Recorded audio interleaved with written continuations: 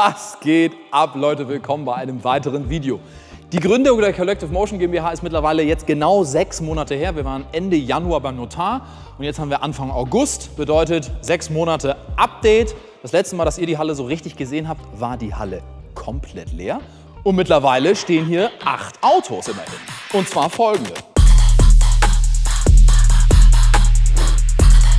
Porsche Carrera 3,2 Targa G-Modell, Alfa Romeo Montreal, Mercedes-Benz 190 Evo 1, BMW E30 M3, BMW Z1, Lotus Elise Serie 1, Camaro SS 396 Big Block Cabrio, Corvette C2 Stingray Cabrio.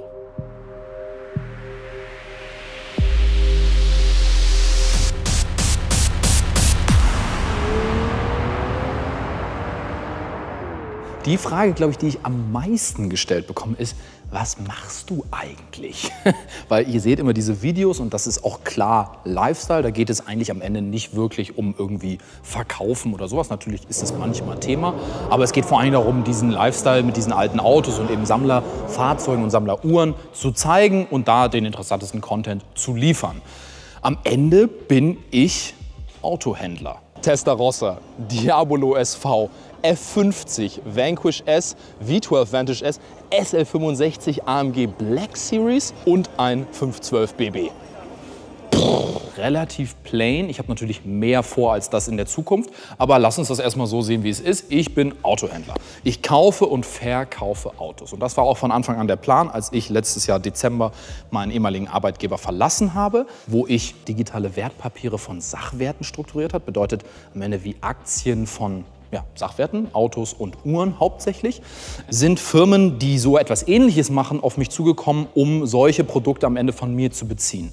Bedeutet, diese ganzen Autos hier, dieses, dieses, dieses, dieses, dieses und dieses gehören nicht mir, sondern gehören Investmentfirmen, die quasi das dann wieder weiter aufteilen und dann quasi diese Autos werden von Hunderten von Leuten besessen gleichzeitig. Das ist ein Konzept, was generell mir auch am Herzen liegt, weil ich erstmal in, der, in, der, in dem Bereich vorher auch gearbeitet habe, aber auch, glaube ich, das ganze Blockchain-Thema und das Thema Besitz in meiner Generation sich, glaube ich, sehr, sehr wandeln wird. Und ich glaube, das ist ein Weg, wie eben viele verschiedene Leute eine einen Wert zusammen besitzen können und dann zukünftig vielleicht da sogar was Interaktives raus werden kann, wo man das am Ende nicht nur monetär sich teilt, sondern vielleicht auch erfahrungstechnisch teilt. Das ist so die Vision für die nächsten 10, 20 Jahre.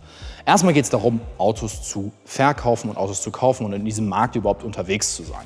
Die Collective Motion GmbH hat im Zuge dessen jetzt mittlerweile knapp um die 750.000, 850.000 Euro Umsatz gemacht. Ähm, das heißt, so und so viele Autos verkauft. Ähm, insgesamt zehn Autos, ähm, noch ein paar Uhren und was auch immer, aber das ist egal. Das erste war ein 911F Modell, ein T. Der steht jetzt nicht hier, sondern der steht woanders. Dann kam der Z1, wirklich in dem Fall wie gesagt, alles Investmentfahrzeuge, die aber auch irgendwo bekannt sein müssen, weil ansonsten ist sowas schwierig äh, zu finanzieren natürlich. Danach kam ein Lotus Elise Serie 1, das ist ein 98er Baujahr, deswegen, wir haben den deswegen gekauft, weil ich glaube einfach, dass das Auto im Markt ähm, einfach für immer extrem besonders bleiben wird. Ähm, es gibt eben heutzutage solche Fahrzeuge nicht mehr. Selbst ein Alfa Romeo 4C wiegt gute 400 Kilo mehr als dieses Auto. Ähm, also wirklich ein einmaliges Fahrzeug im Kontext von Automobilgeschichte. Deswegen steht er hier, deswegen glaube ich an dieses Auto auch, was Wertsteigerung angeht. Ist natürlich immer ein bisschen schade, wenn man das Ganze nur auf Wertsteigerung runterbricht, aber darum geht es in dem Fall bei meinem Kunden und das ist äh, am Ende dann immer das Briefing. Z1 ist klar, super, super besonderes Auto wieder, gibt es auch wieder im Kontext des Marktes. Über die letzten 60 Jahre ist es dieses Auto einfach wahnsinnig besonders und wird es auch bleiben, einfach wegen diesen Türen. Guck mal hier, mit Hand auf dem Boden. wegen diesem wahnsinnigen Konzept mit diesen Kunststoff-Body-Teilen, die man ankleben, quasi andocken kann. Das heißt, du kannst die Farbe von dem Auto ändern. Alles aus Kunststoff auf einem, auf einem normalen Frame. Super, super besonders. Ähm, dann ging es weiter. Ähm, das ist eben habe ich der, von einer Privatperson äh, gefunden und gekauft. Dieses Auto ist auch wirklich sehr, sehr nah an meinem Herzen. Das habe ich ehrlich gesagt in einer Art, so eine Art Scheunenfund in der Nähe von Rosenheim, wo ich ein paar Kunden habe, gefunden. Zweite Hand 40.000 Kilometer voll original. Originalauspuff, original alles. Das ist für mich ein absolutes Museumsstück. Wir haben hier vorne drin einen äh, 2,7 Liter V8 aus einem Stradale 33, in dem er noch 2,5 Liter hatte. Aber das ist für mich, muss ich sagen, auch ein absolutes Schmuckstück und ein richtigen Fund, auf den ich wirklich sehr stolz bin, ähm, weil wir den für einen guten Preis kaufen konnten, ähm, weil er eben dieses, dieses Volloriginale hat. Das ist ein bisschen was Museumsähnliches und dann eben natürlich Gold über Braun geht auch schlechter. Das ist jetzt in dem Fall das neueste Auto erstmal in, der, in, der, in dieser Sammlung. Das ist ein 3,2 Carrera Targa. Für mich das Auto auf jeden Fall das G-Modell, was alle haben wollen, weil er eben den 3,2 Liter Motor hat. Ohne Cut bedeutet schon fast, äh, fast 250 PS, 231 PS und fährt eben dadurch auch schon recht modern. Ähm, leider nicht das G50-Getriebe, aber das 915-Getriebe, was da drin ist, ist eben deutlich robuster. Auch super, super schönes Auto mit wirklich viel Potenzial meiner Meinung nach. Come on, come on, gib ihm, gib ihm, gib ihm. Gib ihm, gib ihm, gib ihm. Komm, dritter, dritter, dritter, dritter, dritter, dritter, dritter, dritter, dritter. Dieses Auto ist jetzt auch noch, gehört noch mir, Corvette C2 aus 63 Stingray Cabrio, auch wieder so ein Fund, auf den ich sehr stolz bin, weil wir den einfach auch sehr, sehr gut einkaufen konnten, weil er eben auch aus einer Sammlung, aus einer großen Sammlung herauskam, äh, welche ich, wo ich die Besitzer ziemlich, ziemlich gut kenne. Ähm, den haben wir aber auch nochmal aufbereiten lassen, haben wir nochmal ein bisschen Geld investiert, der steht echt, echt gut da.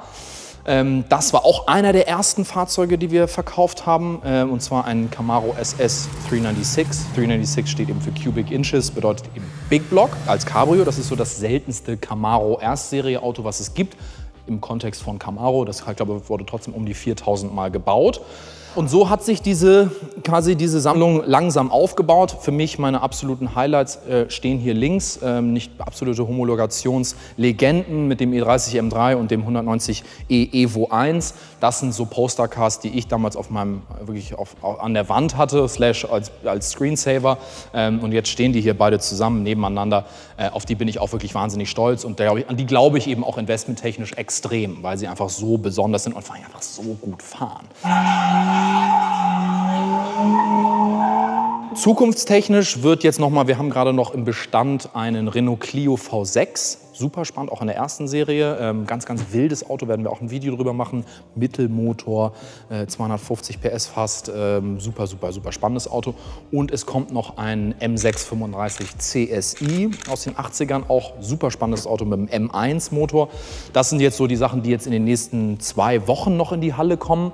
Falls ihr solche Interesse habt, dass ich ein Auto für euch besorge, zum Beispiel ihr sucht schon ewig nach etwas ganz Bestimmten, schreibt mir eine Mail, ich kann euch im Zweifel helfen und dann kommen wir ins Gespräch und wenn ich euch nicht helfen kann, dann sage ich euch das und dann guckt mal, guckt mal was passiert. Tut das gerne. In Zukunft, werden ungefähr immer weiter zwei Autos im Monat dazukommen und bald wird es auch eine Collective Motion De Website geben, wo ihr dann quasi gucken könnt, hey, was hat denn William gefunden gerade im Markt? Etwas ganz Besonderes mal wieder, einen Austin Healy 3000 Mark III und zwar einen echt perfekten. Ich will noch transparenter werden, ich will euch noch mehr mitnehmen. Ähm, stellt mir gerne Fragen in die Kommentare, was euch interessiert, äh, was wollt ihr noch wissen, ähm, was habt ihr, gebt euren Senf dazu. Ich freue mich über alles, was ihr mir zu sagen habt äh, und kommt ins Gespräch. Meine Kontaktdaten sind immer in der Beschreibung. Wenn ihr nichts verpassen wollt über dieses ganze Thema und meinen Werdegang weiter mitverfolgen wollt, dann, wir sind mittlerweile schon 1000 Leute, deswegen vielen, vielen Dank an euch schon mal. Abonnieren nicht vergessen, stellt mir die Fragen und wir sehen uns im nächsten Video. Ciao, ciao. Wenn ihr sehen möchtet, wie das hier vor sechs Monaten noch aussah, dann klickt hier oben auf das Video.